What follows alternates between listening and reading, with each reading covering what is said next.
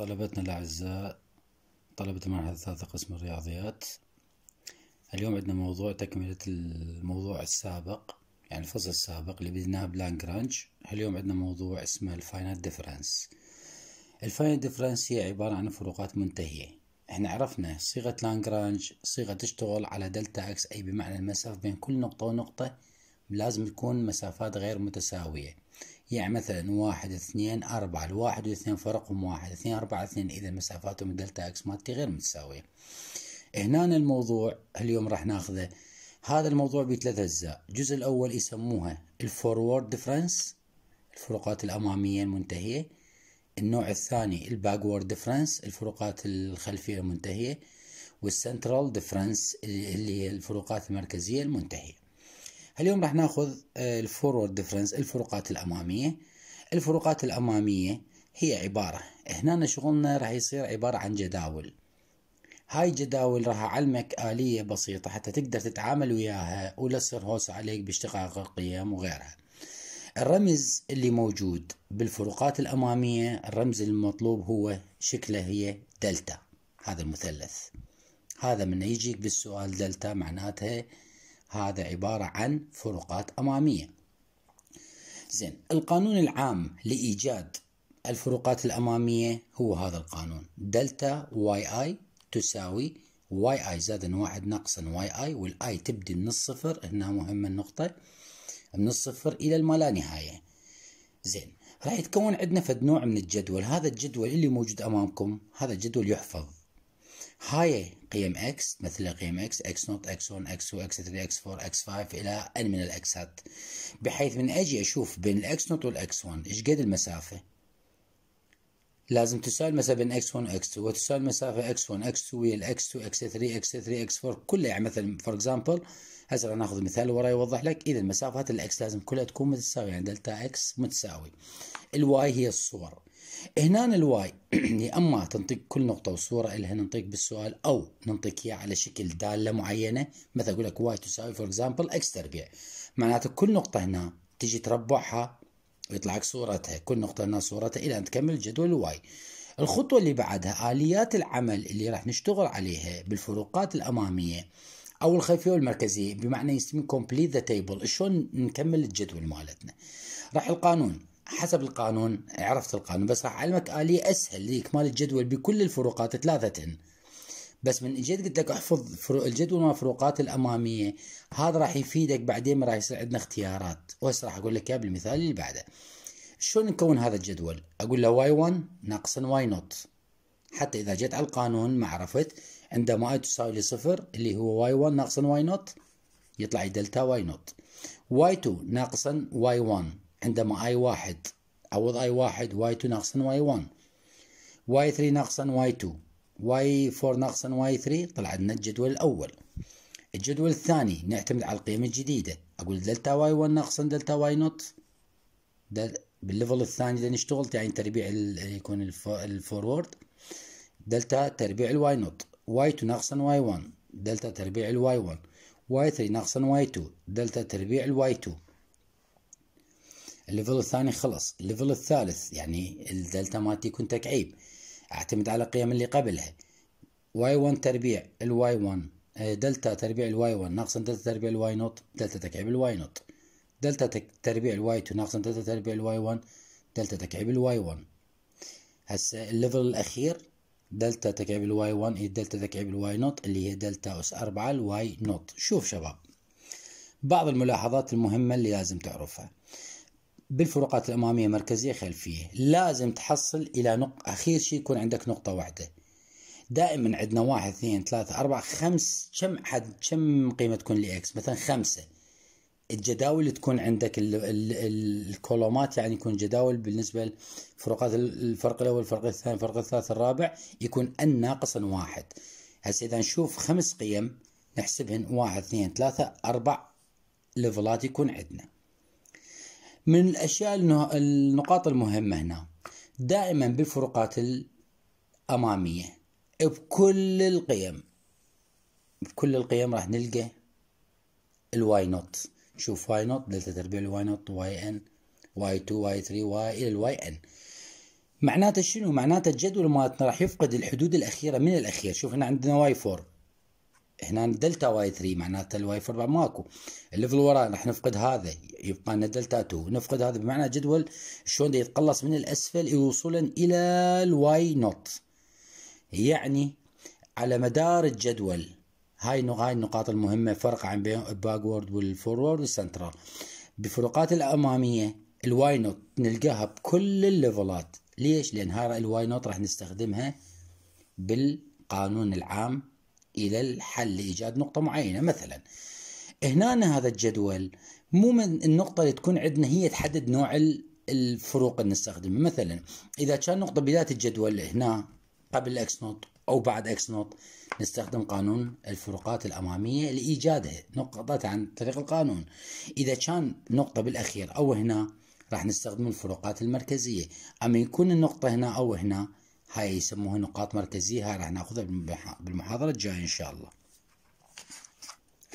شوف المثال اللي موجود عندي هنا. مثال عندي write the different difference table of the function. عندي هنا ال y ما منطيني إياه منطي بس قيم x بس ال y منطيك على شكل دالة اللي هي f ال x أو ال x تكعيب. إيش راح أسوي يعني أثبت قيم إكس أجي إكس تكعيب واحد تكعيب.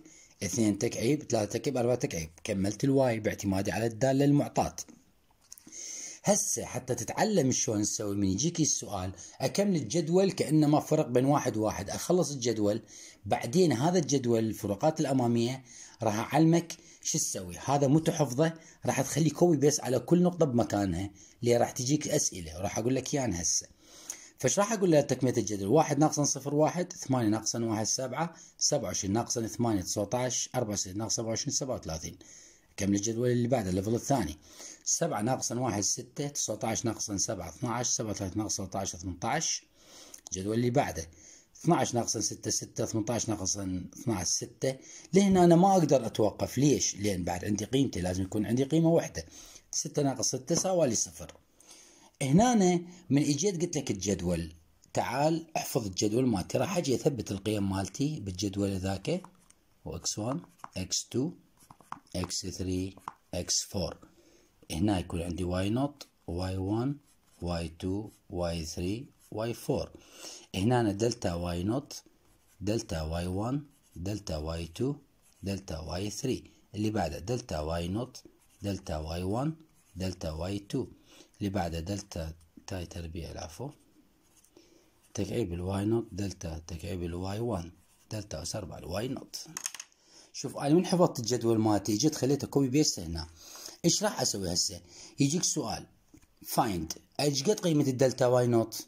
راح تجي أنت قبل أنت حافظ الجدول خليته copy paste هنا عرفت دلتا y naught قيمته واحد. راسا شو تقول له؟ تقول له دلتا y naught المطالب دلتا y naught تساوي لي واحد. أقول لك إيش قد دلتا ال y أربعة؟ راح نجي نشوف. أكو y أربعة عندي هنا بالجدول؟ الأخير شو وين عندي y ثلاثة؟ إذا قيمته إيش قد؟ صفر ما موجودة. إيش قد دلتا تربيع ال y 1 أجي أشوف من أقول دلتا تربيع أجي على ال level الثاني. وين دلتا تربيع ال y naught هاي؟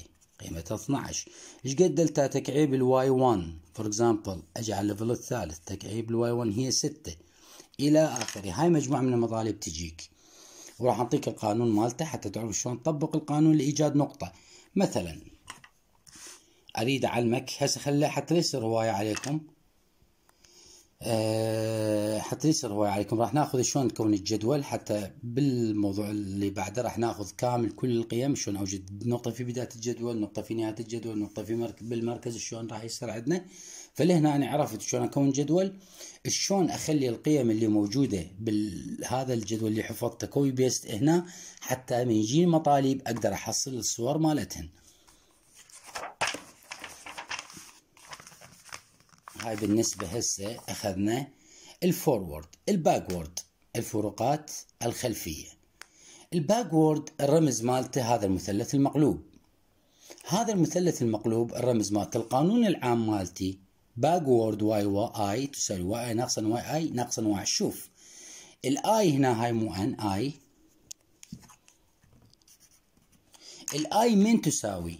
من الواحد إلى المالانهايه بس لو رجعنا خطوة شوف ال i مالتي دا تبدي هنا؟ صفر. حتى يكون عندك يعني معلومة على الموضوع. ما طول أقول ال i تبدأ من الواحد معناته الفروقات الخلفية ما بيها أي قيمة ل y naught. معناته الجدول يتقلص من الأعلى وصولا إلى الحد الأخير.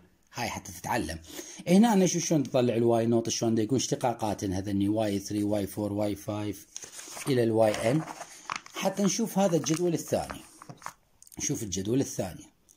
نفس الشيء عندي قيم x وقلنا لكم مثل ما قلنا لكم ال y يا أما تكون قيم معطاة أو أنطيكم إياها على شكل دالة طلع لي ال y. لاكمال الجدول حتى لا تدوخ تقول تسمع هذا في أمامي هذا خلف لاكمال الجدول كله.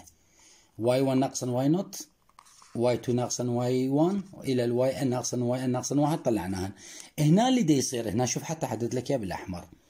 هنا اللي دا يصير المشكلة شنو دا يصير عندي هنا؟ هنا معناته جدولي من أقول backward جدولي دا يتقلص دا يحذف.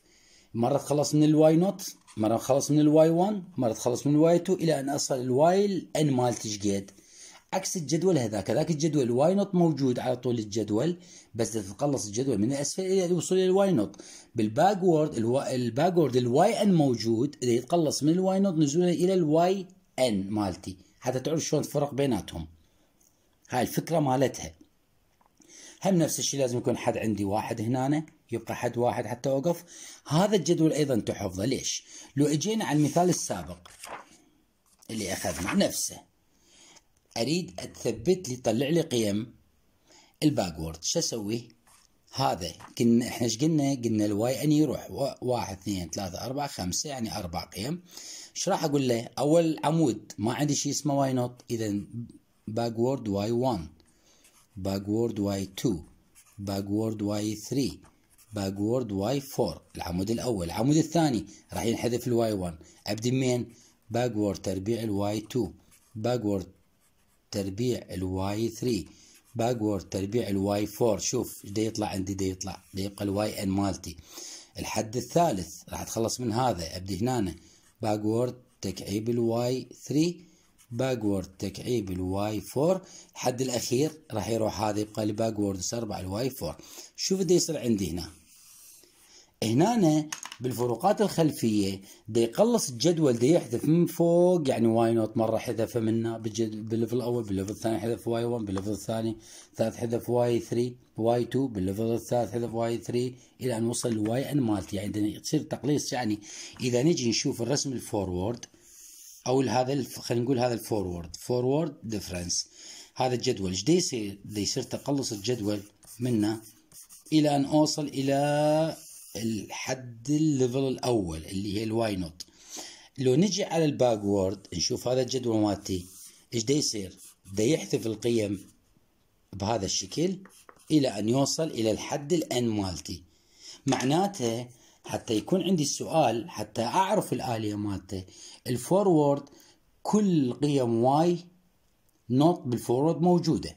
يعني من أقول لك بال forward إيش قد قيمة ال y أربعة؟ تقول لي ماكو صفر. ما عندي. بس بال backward نقول لك قيمة ال y delta y أربعة؟ تقول لي قيمتها 37 ليش؟